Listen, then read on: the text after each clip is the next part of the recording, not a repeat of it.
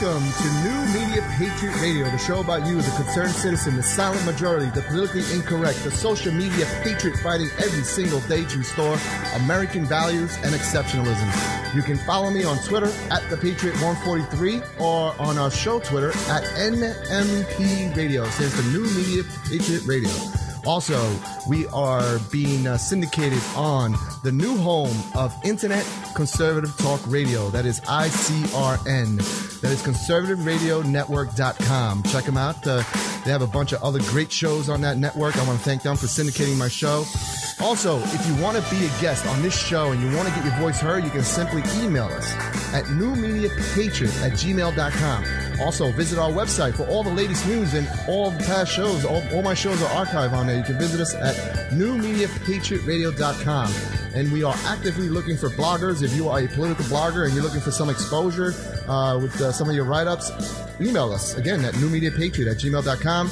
And you can uh, follow us, please, if you can follow us on Spreaker, on iTunes, and also on SoundCloud. We are all over the place. Uh, again, if, if you want to take us on the go, you don't necessarily have to listen to us live, but you can if you want, and you can actually call in now. And the uh, that number is 347 338 1775. Again, the number is 347 338 1775.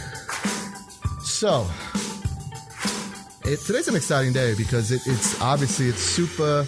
It is a Super Tuesday, and there's a lot going on. But before we get to all that, and uh, we, we get before we get to my to, to tonight's guest, um, I just got to go on a little rant here. Um, you have the the, uh, the the the GOP is finally fighting back, and this is so funny because all of a sudden they are pulling all the stops. Who are they? Who are they turning their guns on? Is it the Democrats? No, it's the GOP frontrunner Donald Trump. Just like they did in Mississippi in 2014 when uh, when uh, they went against Chris McDaniels. So again, welcome to the Silent Majority here on New Media Patriot Radio. This is our Super Tuesday special, as I stated before, and I am your host, Chris, and our number again is 347 338 1775. So let me go on. You know, after seven years of hearing the majority in both houses, the GOP majority in both houses, telling us what do you want us to do? Whenever, whenever Obama, uh, you know, went on one of his executive actions or his, uh, you know, um, his his uh, basically treasonous uh, uh, rampage, um, that's what the GOP majority told us. What do you want us to do? And now, all of a sudden, they want to put their tough guy outfit or their tough guy costume on and fight like hell against their against the, the, the, the leading Republican candidate, Donald Trump. And you know why? You know why they're doing this? They're seeing their cushy business as usual apparatus crumbling. And they see it as a threat to their institutional status. The GOP is basically this is what they're doing by doing this. They're basically telling the American people that they're they, they they're going to pull out all the stops to block a Trump nomination. Especially after telling us that they couldn't pull out all the stops to stop Obama. Let that sink in for a bit. They did nothing. For 7 years they've done nothing They've done absolutely nothing. Imagine if they fought this hard at combating, at combating uh, uh, Obamacare, or the EPA regulations, or TPA, or TPP, or again, Obama's executive amnesties. Imagine how better off we would be as a nation. And I bet you that we wouldn't be talking about Donald Trump. Republicans are playing into the hands of the Democrats. The GOP is basically aiding and abetting the Clinton machine. Where was the GOP when Mitt Romney was running for president? they refused to bring up Obama's controversial connections with groups such as the Black Panther Party, the Weather Underground, the Radical Church, where uh, Reverend Wright, uh, Reverend Wright uh, uh was the pastor or the minister or whatever you want to call him, or his connection with Frank Marshall Davis, the communists. Ladies and gentlemen, they were nowhere to be found. They said we're going to beat him on we're going to beat him on policy instead because they were so afraid of what the mainstream media was going to say about them. Or, the, or, or, what the racist undertones of bringing, you know, such radical connections, you know, uh, bringing them up would bring on the party. They were so afraid of themselves. What, what did they do? They stuck their tails between their legs. Well, guess what? They lost for two reasons low voter turnout from the Republican base, and Obama doing what he does best playing the race card.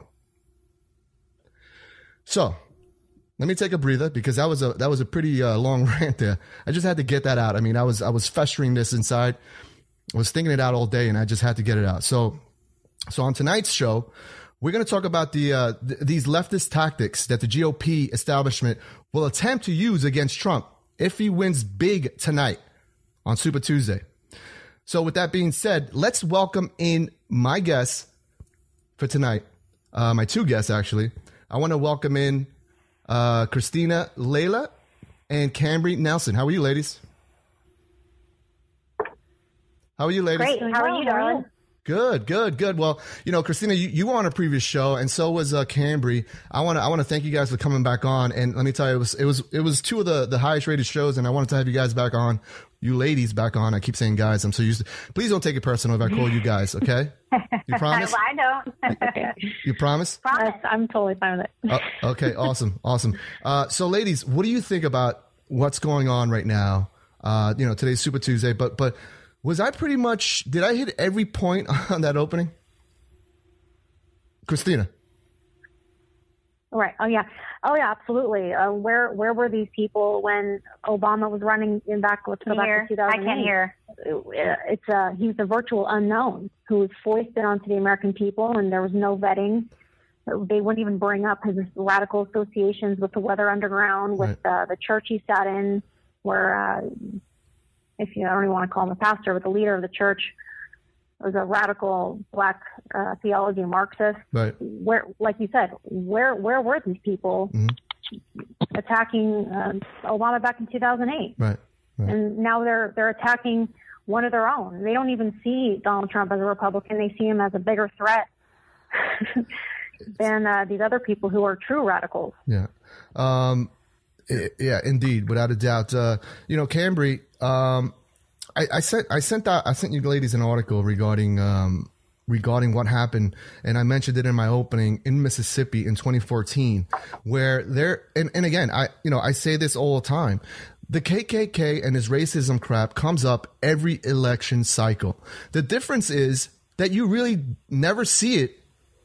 You never see it from the same team. For instance, the GOP is attacking their frontrunner with the KKK agenda. Have you ever seen anything like that, Kambree? No, I mean, I've, I've honestly, I'm, I'm, I'm, I'm a young one. I can call myself a political baby, but I've never seen anything like this. And from what I've seen and from what I've researched, you know, apparently this is not anything new. The, the difference is, is that now we have social media that can expose everything that's going on. Right. I mean, apparently this is a tactic that they moved, like you said earlier, and you know, whenever they were starting this, when they're about McDaniel, McDaniel, um, they it, this is an all-out war with the GOP. They did this. They they are going to do everything they possibly can. It's the biggest smear campaign they don't care who wins this election. All they want to do is make sure that the big establishment donors are taken care of. Right. They'll pull out the race card. They're going to pay for print ads. They're going to do broadcast ads. They're going to ask, you know, pastors. They're going to pay Democrats off. They're going to get preachers to go out there, and basically, they they just want voters to, to vote in the runoff election. I mean, what's happening is the Republicans in, in, in Washington D.C. right now is is using every dirty trick at their disposal to take down Donald Trump. What they don't realize is that Donald Trump has a Trump train behind him. Mm-hmm. They have a Trump train behind him. So everything that they do, we actually expose. And so this actually has worked previously. And I think they're just desperate, especially after coming out of South Carolina with a victory, coming after um, Nevada with a victory. And now today is Super Tuesday and the numbers are coming in. Donald Trump just won Georgia. There's one state, you know, in the in the box for Donald Trump. I just saw that. Mm-hmm. So, um, you know, the D.C. establishment, Republicans, basically they have a team that they've enlisted together, the same people that went after McDaniel years and years ago, and they're running this huge super nuclear attack approach against Donald Trump for their own benefit. And um, I mean, it's it's crazy because um, a lot of stuff coming after you know Hillary Clinton I mean, she's she's got stuff where she's talked about a hero being an, an ex KKK guy. Mm-hmm. I mean, we could go rounds and rounds, but the difference is, is like you said, it's a war between the GOP within the GOP. They're not going after the Democrats because if you disgusting. can see all over social media everything about KKK and, and, Hillary Clinton, but they failed to mention that as well.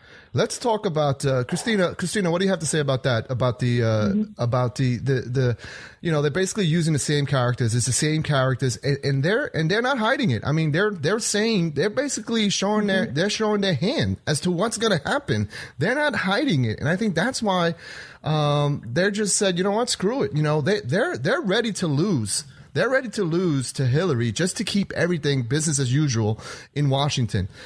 So, Cristina, what do you what do you think about these same characters? Uh, the, the, same characters are basically the attack dogs. These people that have made a career um, and, and, have made millions of dollars uh, being these attack dogs for the GOP establishment. How do you feel about that as as a voter? Yeah, well, it's shameful, and to see these uh, attacks on Donald Trump trying to align him with a a man who uttered his name and he never even got endorsed by the guy. The, the man was supposedly in the the Klan, I guess, 40 years ago, and Donald Trump doesn't even know the guy personally. And mm-hmm. I pointed this out the other day when Al Gore ran for president in 2000. Nobody brought up his father, who was uh, led the longest filibuster in history to block the 1964 Civil Rights Act. His mm-hmm. father was a known racist. Uh, several uh, reports have said that he was also a member of the KKK. Mm-hmm. And uh, where where were these same people? Of course, you can only be a white racist if you're a Republican. Right. And uh, he he didn't have to answer anybody. These are just the same. These are leftist tax- tactics, mm-hmm. and these people should be ashamed of themselves. It's disgu- really it's discussing what's going on, and uh, you mm-hmm. know I mentioned this on last night's show. They, the the uh, I think it was a Washington Post or one of those uh, rags. Uh, basically, they uh, they come up with this. Uh, they, they, revisit a 19, 1927 article where it says Fred Trump was arrested at a KKK rally, and if you read the article, it gives it gives it gives mention of the people that were arrested and released on bail. And when it comes to Fred Trump, it says he was discharged.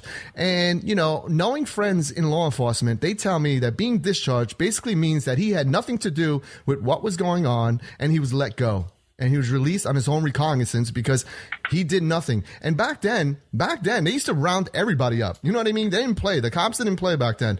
They used to round everybody up, put you in a paddy wagon, and take you to the station house. Um, but but they're running with this. They're, they're revisiting the same the same uh, you know uh, uh, controversial quote unquote controversial um, you know articles on on on, uh, on his father. Mm-hmm. Tell us about uh, tell mm-hmm. us about that, Cami. What do you think mm-hmm. about that?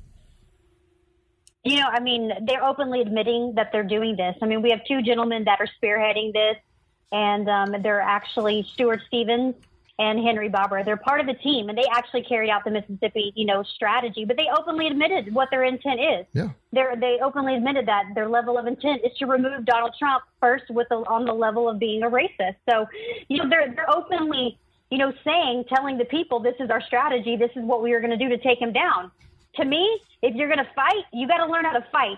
That's not how you fight because they're telling everybody what their agenda is, and that's exactly what Donald Trump says. You never let anybody know what your agenda is, but um, I mean, it's absolutely ridiculous. And we know that when we watch television and mainstream television, um, mainstream TV, they're only